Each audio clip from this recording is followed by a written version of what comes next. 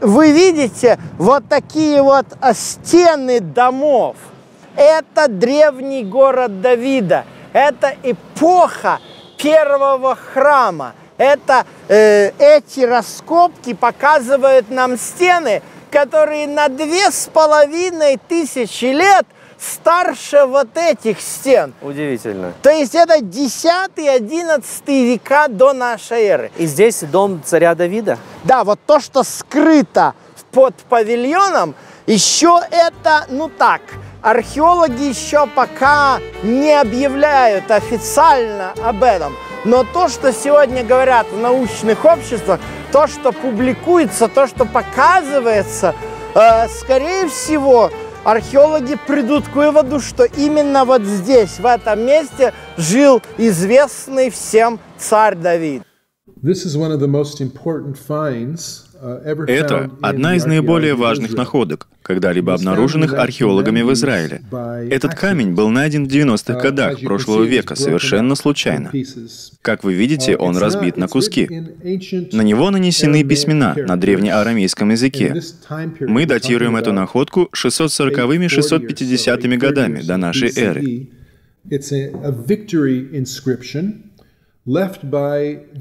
Здесь мы видим запись о победе, оставленную арамейским царем. В ней описан разгром коалиции нескольких царей, и среди них есть два царя, которые особенно важны для нас. Одним из них был израильский царь. И вот здесь внизу есть слово, которое на древнеарамейском языке звучит как «Израиль».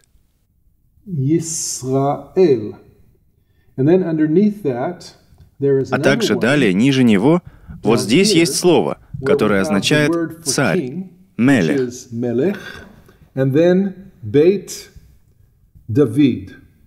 А далее «бейт Давид», что означает «дом Давида». И это самое раннее и, возможно, единственное прямое упоминание Давида в археологических находках. Также увеличилась вероятность подтверждения того, что дом Давида являлся первой израильской династией, и что Давид был реальной исторической личностью. Василий, мы прибыли на место рождения Давида в город Вифлеем. Кто сегодня проживает в этом городе?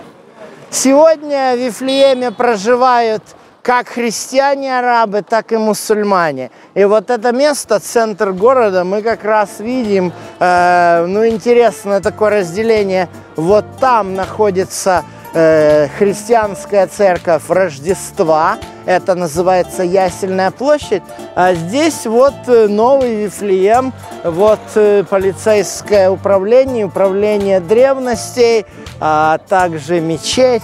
То есть это показывает э, современные тенденции в демографии Вифлеема, э, что фактически постепенно, особенно в последние 20 лет, здесь преобладает больше мусульманское население. Евреев практически здесь э, минимум, если не сказать, что практически нету. Ну, евреев здесь вообще, вообще нет. нет. Да, да. В Вифлееме евреев нет вообще.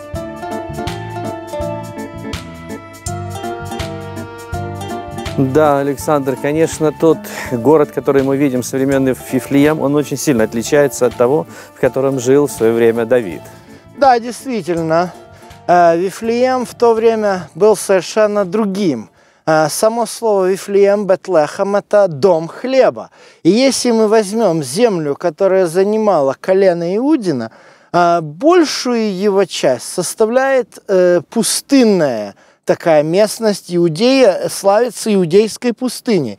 Но здесь мы видим совершенно другой пейзаж. Вы видите, здесь и оливки, здесь и хорошие плодородные пастбища. Здесь, в общем-то, выращивали хлеб. Поэтому здесь, именно на этих полях, на которые я сейчас вас поведу, и разворачивается интересная история. Там даже есть и элементы и романтики, э, но эта история связана с рождением Давида. Интересно, пройдемте.